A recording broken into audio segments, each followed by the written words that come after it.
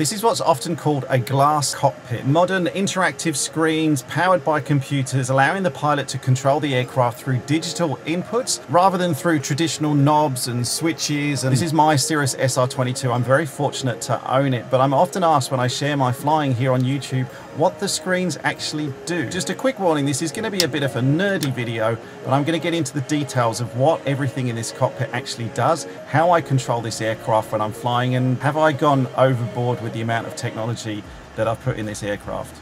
No, never, never.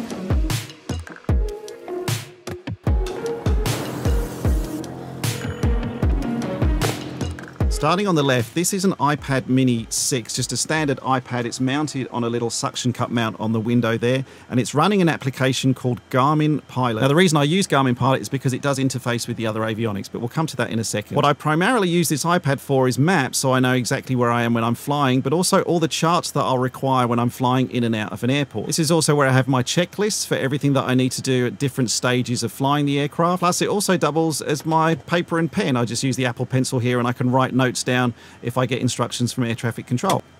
Moving from the iPad to the main cockpit, these are two Garmin G500 TXI screens and they're set up in two different modes. This is a PFD and this is an MFD. This is the primary flight display, multifunction display. One thing I should mention is that I am a Garmin brand ambassador, so I do work with Garmin on showcasing some of their equipment. I did purchase a lot of this equipment myself, but Garmin also helped me out with some other bits. So do take everything that I say in this video with a tinge of bias, but Garmin don't know I'm making this video. They didn't ask me to. I'm not being paid for this. This video is in response to a lot of your questions on how the cockpit of Echo Yankee Zulu works after my recent trip to East Timor. So the primary flight display is all split into these two sections. I've always got all of my main flight information here. And then on this second panel here, I can basically set it up to be, or any of these options. I can put the moving map like I had. I can get a traffic display, which shows me other aircraft around me. Terrain display, which shows me any high or low terrain, but because I'm in the hangar, everything is terrain at the moment. I can view my charts on here as well. On the MFD, I actually have a bonus panel. I've got my engine instruments, which always appear here, but I also generally put my engine page here, which gives me more information and then I've got another panel over here, which again, I can choose the map, I can choose the traffic page. My personal preference for a setup is basically, what's the aircraft doing? Whereabouts am I? What's the engine doing?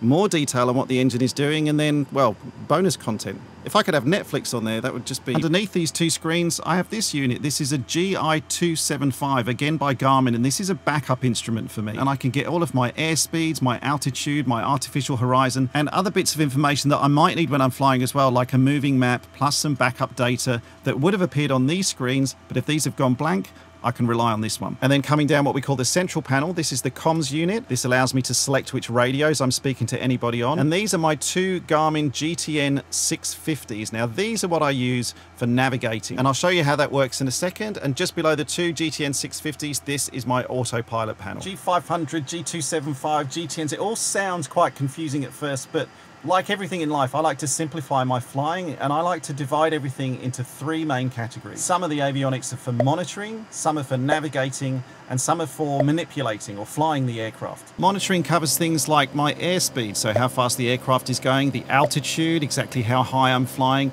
the track that I'm flying on at the moment. Navigating is done through the GTN 650 devices, and this is where I put in airports that I'm flying from, airports that I might be flying to. This information is then pushed to the G500, so whatever I've put into my flight plan, I can then see presented to me on a moving map here on my primary flight display as well. And then there are some ways as well to manipulate or fly the aircraft. For example, I can change the aircraft heading using the avionics. And if I engage the autopilot, you can see it will actually steer the aircraft. One of the first things you want to do before you go flying is obviously load a flight plan. You want to know where you're going and the avionics needs to know that as well. Let's say, for example, we're flying from my home airport here, which is Moorabbin, and we're just going to do a local flight and we're going to go to Avalon, for example. Once it's loaded onto the iPad, the way that you actually send it across to the navigation units is via Bluetooth. So I just click on the little Bluetooth icon at the top. I can go send to, and then here on the unit, I'll get a message saying that there's a flight plan available. And instantly you can see there's the same route from Moorabbin to Avalon. You can see it comes up on the primary flight display moving map as well. Now it says no GPS position because I'm obviously inside at the moment. But in one, two, three clicks, it's basically up here and the aircraft can now follow this line. This is the magenta line that shows me basically which way to steer if I want to follow this path. Now, even though the cockpit is fully digital, the way that it gets the data from the outside world to present on those computer screens often comes from an analog input. Take, for example, the pitot tube, which sits underneath the wing. Now, the air that flows into this pitot tube and the pressure that it creates inside this little cylinder, combined with a few other bits of information, basically is what gives me the airspeed indication on the computer screens. And if you ever wondered why we put these little socks on these pitot tubes, it's to actually stop insects and bugs and debris getting inside that pitot tube and blocking it. That's why we have the socks. Jeez. Another analog instrument that provides input to the digital screens is this. This is the static port, the static vent. This lets the aircraft know what the outside air pressure is and it helps the aircraft understand what altitude it's flying at. And then under the right wing here, I have these two analog temperature probes. This is what helps the aircraft understand what the outside air temperature is outside the aircraft. That's why it's the outside air temperature. These tell me what the temperature is.